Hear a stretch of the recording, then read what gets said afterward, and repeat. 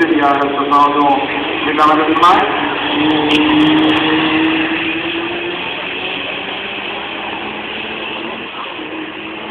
Und Tommy Hamdi und die der City, die 86er Polaufwärts,